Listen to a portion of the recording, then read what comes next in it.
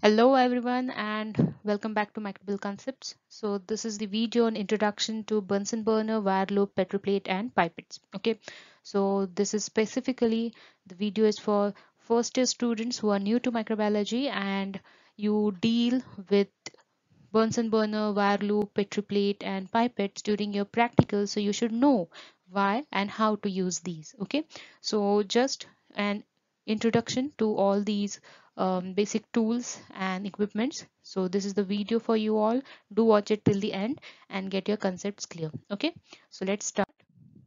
So bunsen burner. The bunsen burner is also known as fish tail burner. Okay? Or fish tail bunsen burner. And it is used in our microbiology laboratory while performing aseptic techniques.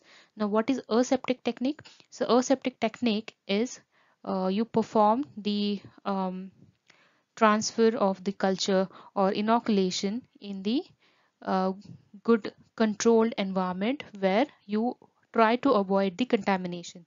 Okay? So to control to have a controlled environment we use bunsen burner. Okay? So the air around the bunsen burner is hot. So what happens? The particles will not uh, settle on your plate while you are uh, say drawing uh, streak plate technique okay? So that is how we use bunsen burner and that is the reason we use bunsen burner okay? So around bunsen burner a 0.5 meter of uh, radius the area uh, around the burner should be 0.5 meter where you should work okay? Not away from Bunsen burner okay? So the zone that is created the hot air zone that is created by the Bunsen burner the flame is actually the area that is uh, good for our working okay? For the aseptic techniques okay? Now the aseptic technique is basically you try to avoid contamination by using some um, techniques like uh, flame sterilization of your loop using Bunsen burner okay? So these are the some basic aseptic techniques. You will learn these uh, when you start with your practicals okay? Now about the Bunsen burner the role. The role is to ensure that the work area remains aseptic. Aseptic means um, no contamination during the work period and used it is also used to flame sterilize the wire loop and glass spreaders when required. Now we flame sterilize glass spreaders when we do spread plate technique. Okay. So at that time and while doing the streaking, we use wire loop. Okay. Or streaking or for inoculation purpose also. So these are the um, techniques that means the streak plate and spread plate where we required Bunsen burner for flame sterilization. Okay. So that is the rule the proper flame is actually the blue small blue cone okay the this one and not the large plume or it should not be even orange okay? A very large plume that means a very long flame coming out and it is completely orange okay?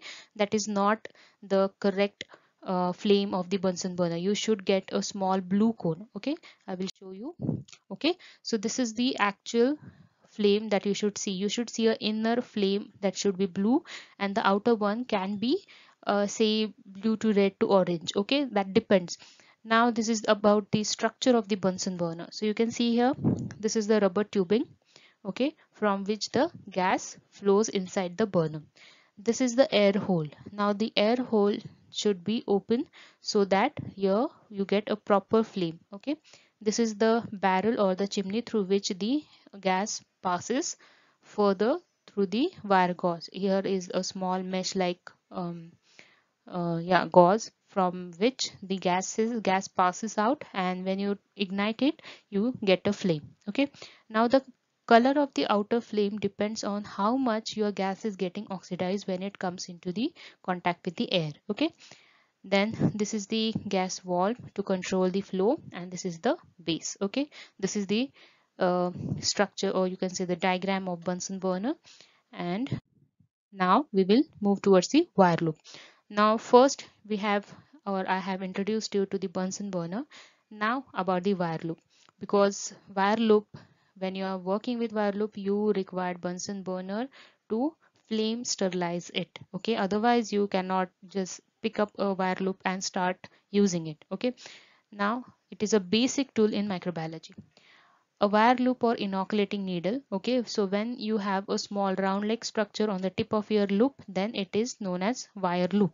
And when you don't have a circular part here it is just known as a inoculating needle okay? So wire loop or inoculating needle is used in several operations in microbiology. Mostly for inoculation um, you know, inoculating needle is used where you need to just tap that means just need to insert the needle in the um, agar slant and wire loop is generally for streaking okay?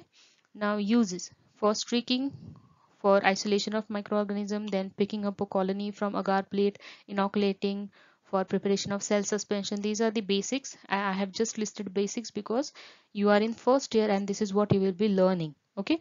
So these are the uses of wire loop.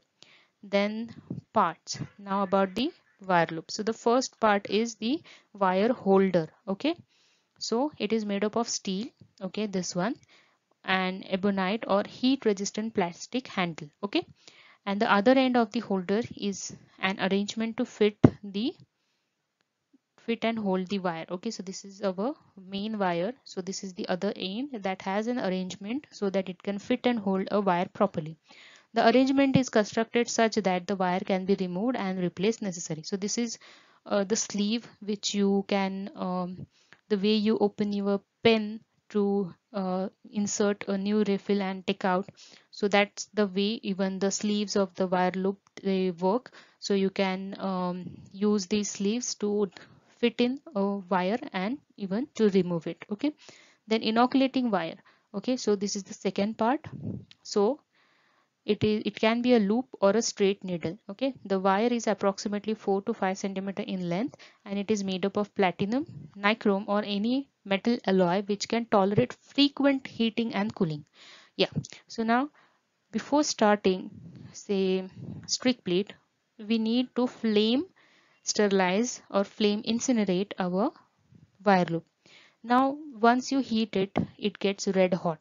You cannot use that red hot loop directly for picking up, picking up the colony because the heat from the loop can kill the bacteria from your colony. When you touch the loop to your colony the bacteria they can die due to the heat. So it needs to cool down. Now you cannot wait for hours to cool down your loop. So it is made up of such a metal alloy that it can tolerate frequent heating and cooling. It will heat quickly and it will cool quickly so that your time is saved and you can perform your practicals or your experiment uh, in a perfect way. Now the wire it should be flexible enough to bend on contact with soft materials like agar and gels and it should be rigid enough to penetrate the gel if pressure is applied okay? So it should not be that heavy and um, it should be flexible enough that you can easily just you have to touch the agar surface while you are streaking. You don't have to penetrate it. You don't have to dig in the agar okay? So that's the reason why your um, wire loop should be thin flexible okay? And it should be that much rigid enough that when you try to just stab in uh, stab inoculate the agar slant it should penetrate your agar okay when the pressure is applied. That so now about pipettes or pipettes. So in microbiology lab we generally use four types of pipettes. So pipettes that is glass which is of two types that is Mohr and serological. I will be discussing the difference of the, both of those.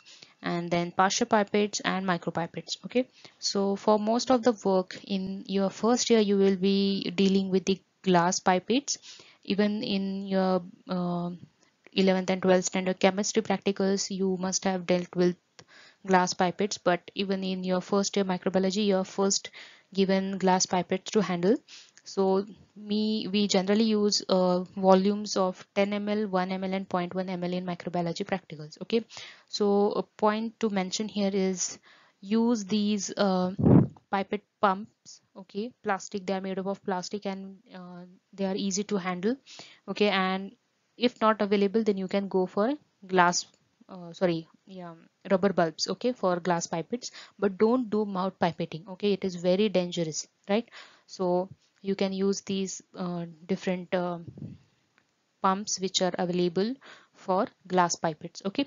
So this uh, uh, this this one is the first type of the pipette then to identify these pipettes uh, means the different volumes okay? You have 10 ml pipette you have uh, 5 ml pipette you have 1 ml pipette okay?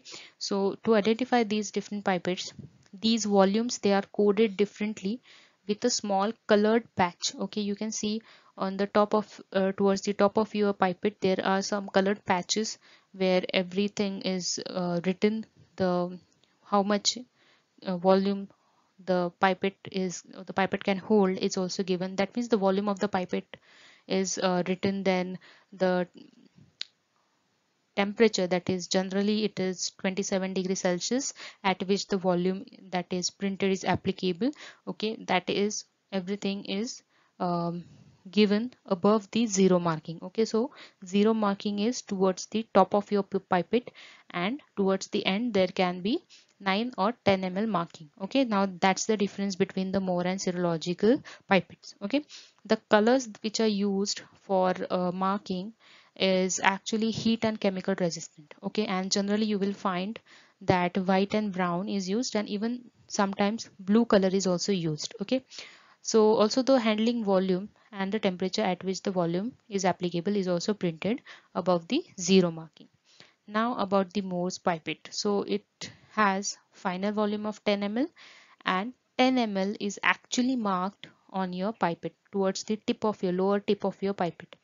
And in case of serological or blowout pipette it is also known as blowout pipette because the volume of the pipette is 10 ml but the lower marking is 9 ml okay that means you have to fill it uh, till your uh, tip of your pipette and you have to blow out everything to get 10 ml complete 10 ml okay so which indicates that the volume of the remaining one portion of 1 ml is to complete the 10 ml volume. Okay? That's the reason the 10 ml marking is missing and it is considered toward, uh, till the tip of your pipette. So it is important that the tip of your pipette should not be broken so that you get the exact volume that is 10 ml. Okay? So you can see here this is the Mohr's pipette which has 10 ml marking but in case of serological pipette the 10 ml marking is missing as this is the remaining 1 ml that is considered as complete 10 ml okay? So you have to blow out everything from 0 to tip of your uh, serological pipette to get 10 ml of the volume right? So this is about the difference between Mohr and serological pipette now about the Pasteur pipette. So Pasteur pipette is a non-graduated glass tubing. That means it does not have any kind of markings on it and the one end has been uh, tapered to a capillary by heating and drawing. That means the one end is very thin. This is the capillary. Okay, very thin. It is, the glass is drawn by heating and uh, it is having very small uh, radius. Okay, so it is generally used to handle small and unmeasured aliquots of liquid. Since the end of the pipette is tapered into a long and fine capillary withdrawing liquids from thin tubes and small volume becomes easier okay? So this is actually used when you don't have to measure the volume of your liquid sample okay? A small aliquot. Aliquot is a small part okay? So at that time you use Pasteur pipette. So this is the rubber bulb glass tubing this is the capillary okay? Now about the micropipettes. So micro means volumes that we measure is in microliters okay? Till now in case of glass pipettes we have seen serological and Mohr's pipette where we use volumes in ml okay? 1 ml 2 ml 3 ml okay?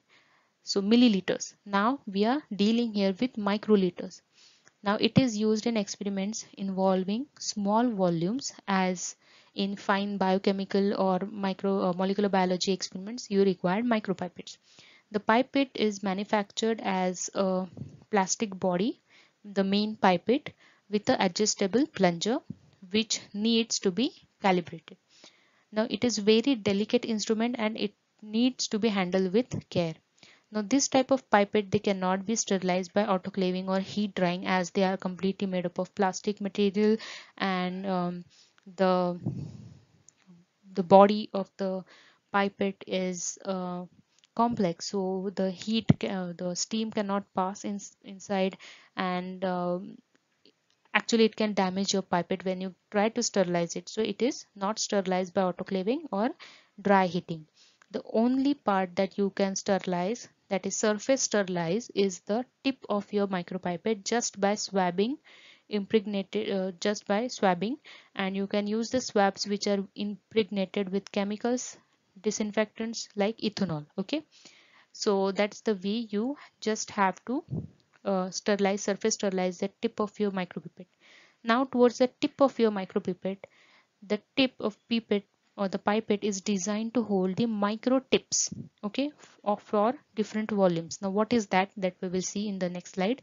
And these micro tips they are sterilized by autoclaving and then they are used okay? So these are the tips. So this is the main body of your uh, micropipette that is made up of plastic. And this is the tip cone or this is the part that you can surface sterilize by using ethanol. You can just take uh, ethanol on um, tissue paper and you can just surface sterilize it. Okay? Then you can fit the tip on this tip cone and you can work with uh, the push buttons. You can you have to push the air will be blown out and when you release this push button the say uh, broth if you are working with broth the broth will be taken up by the pipette okay? So this is always in microliters. Now you have to learn the calculations of microliters. So 1 ml is always always 1000 microliters. Now micro you can see here a small u and l you can see. So that's the uh, symbol or um, that's the unit we write for microliters okay? So this is the pipette where you can work with a volume starting from 100 microliter to 1000 microliter. Now that is adjustable. So you have to just uh, move your push button back and forth to adjust the volume that you want. Okay so you can see what is the setting on this digital display. Okay now this is the ergonomic grip cover. So you can uh, hold it towards your thumb. Okay and you can work conveniently. Now about the how to remove the tip so for removing tip there is a tip ejector and tip ejector collar okay? So when you push this tip ejector what happens? This collar moves down and it pushes the tip of uh, tip from your pipette. And this is how a tip is removed okay? So you can see this is how a tip fits on the tip cone. And these are the tips and this is a autoclavable tip box okay? So where you can um, fill in all the micro tips and you can autoclave okay? So these tips are autoclavable but not the micro pipette okay? Then about the petri dishes. Petri dishes are also known as petri plates and they come in various sizes but commonly used size is 90 mm that is the internal diameter okay? Internal diameter of your petri plate. A petri dish is made up of two parts that is a lid and a base okay? Now the lid fits closely not tightly on the base okay? It fits properly but not that tightly hmm? and since both the surfaces are flat a small gap is maintained between the lid and base by a small you can see a small beaded structure okay? So what happens? You can see uh, there is a very small part that can um, touch the lid of your petri dish and what happens the small gap that is maintained between the lid and the base it um, between the inner surface of the rim of the base is necessary to allow the gas exchange and moisture into and from the plate okay? So when you work say you have done streaking on your agar plate this is the agar that you have filled on your base of the petri dish and you have done streaking you have closed your plate. Now what happens? Everything that is inside the plate that will be get used up by the bacteria. That means the moisture and the oxygen that is available inside the plate that will be used up by the bacteria to grow. But after some time the uh, oxygen inside the plate inside the petri plate will get exhausted okay? No oxygen will be there. So what happens? The outside air will get inside the plate okay? This allows this glass beaded structure it allows the gas exchange and that is how even when you incubate for three to four days even at that time you can see your bacteria growing well okay? If your um, lead and base they uh, fit in so tightly then what happens? There will be no gas exchange and your culture cannot grow. And that's the reason to maintain the gas exchange there is a glass beaded structure on the base that allows the lead to fit in properly but not tightly and it allows the gas exchange and moisture into and from the plate. Okay? So that's the reason we use petri dishes now the petri dishes they are available in another size also that is 45 uh, mm diameter okay? And some petri dishes they are divided into four section by a raised glass portion okay? You can see or you can just uh, google on um, internet and see what are the different sizes and what are the different types of petri dishes available okay?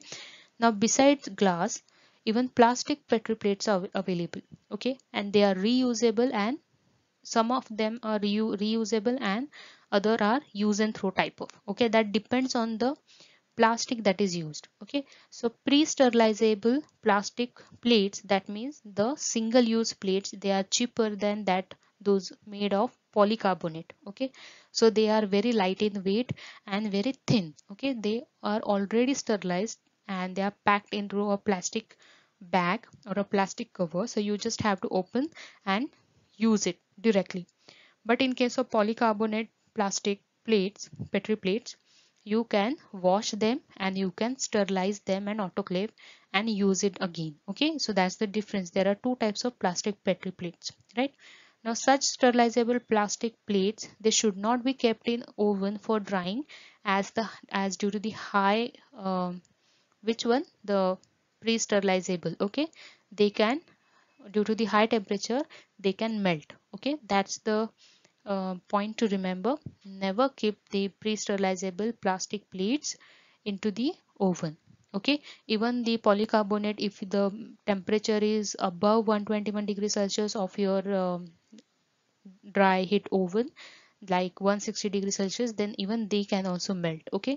So just be um, cautious when you are working with the plastic plates you can air dry them a day before and then you can use them for autoclaving. Okay don't go for using uh, um, hot air oven and keep them for overnight for drying. Everything will be destroyed okay? Due to the high temperature your plastic will melt okay? So this was all about the basics that you will be dealing while you start with your practicals in microbiology that is Bunsen burner, wire loop, petri plates and pipettes. So I hope everything is clear to you all. Thank you for watching. Do like my videos, do share my videos with your friends and do subscribe to my channel. Thank you.